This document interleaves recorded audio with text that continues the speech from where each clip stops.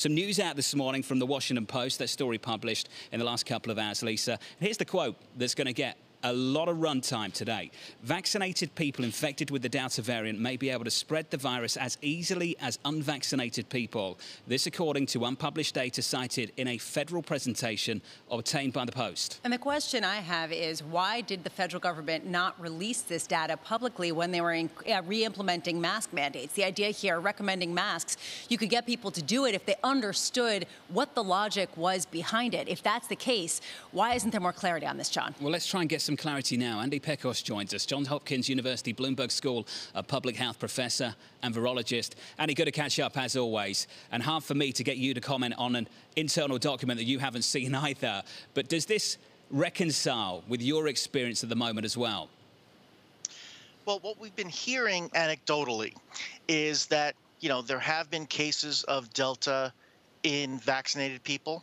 Uh, I think the other thing to emphasize is as case numbers increase, the number of exposures that vaccinated people have to Delta virus increases as well. So we would expect to see some slight increase in cases in vaccinated people. Now, the critical thing that we're learning now, though, is just how much more dangerous the Delta variant is compared to others, other variant strains. And it really does seem like the data that was first coming out in unvaccinated people is really being amplified in that population. And that is that this virus is incredibly more contagious. Um, if you get infected, you get more virus in your system after infection.